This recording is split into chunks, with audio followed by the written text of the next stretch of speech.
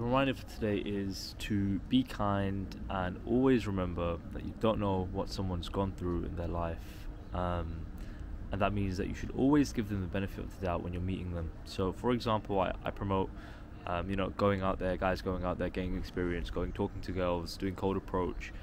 Um, but that means you're going to be interacting with the world. And if you're someone who's never really interacted with the world and you've only been limited to your own personal experiences and the experiences of your family and your close friends, you can't really figure out the kind of um, mindset that someone has and the kind of things that they've learned about talking to people, talking to strangers, talking to random people.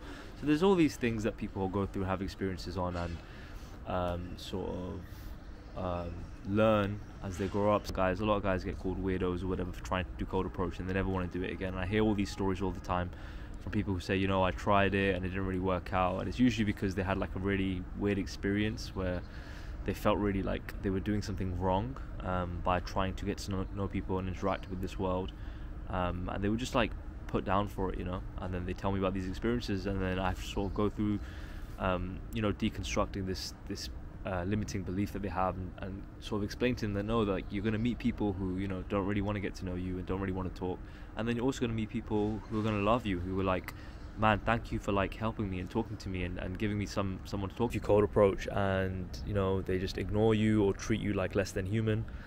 You know, give them the benefit of the doubt because their mum might have died that day, or you know they might have like lost their car that day, or got into a car crash, or you know they might have lost a pet. Like you don't know what someone's been through so it's always best to just assume that you know it's not you that's the cause. It's it's the situation that they're in and they're just not in the right space of mind to meet you right? Logistically just they're just not there right? Like maybe in a year when she's on the beach and she's having fun and then you did the same approach you know looking the same exact way it might have worked you know? But it's just time and a place and, and that's just destiny that's just life yeah? So i feel like a lot of guys that like get to them um, and they just devote themselves to careers. Or I had one comment yesterday which was like, "Oh, this is why I don't date. You know, I stopped dating and I'm in a much happier place." But I think that's coping. I don't really believe that. I think truly, to be fulfilled, you need to have experiences with people, with women, have a social circle, have a social life.